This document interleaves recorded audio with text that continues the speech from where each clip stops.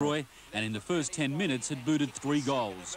Jim Stynes and Steve O'Dwyer posed a problem changing in the pocket and in a new jumper, former St Kilda player Rod Owen was doing things at will.